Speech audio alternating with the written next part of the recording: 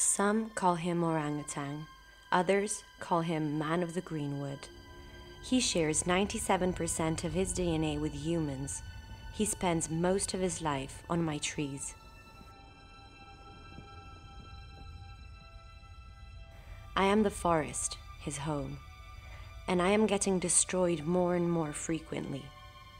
I do not need humans, but they do need me.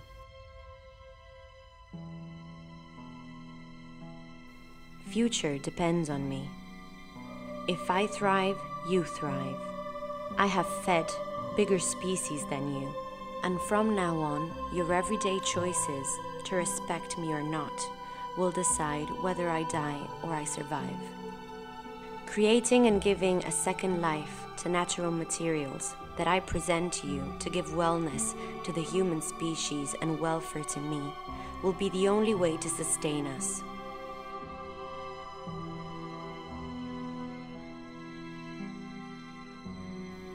Every pair of shoes will gift me a tree where I will be able to welcome an orangutan and keep on taking care of the man of the greenwood.